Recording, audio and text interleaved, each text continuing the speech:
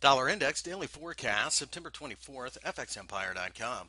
The dollar index did almost nothing during the session on Monday, as you can see, as the market continues to tread water right around the 80.50 level. That being the case, uh, we feel that this market certainly is supported at 80, and it needs to break down through there for us to be comfortable with uh, selling or anything like that for any length of time.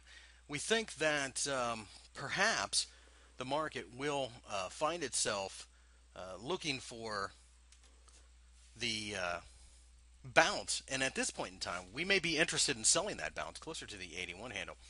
Um, that being the case, if we manage to break uh, higher and show any signs of weakness on the rally, we're sellers. If we manage to close below the 80 handle, we're sellers there as well.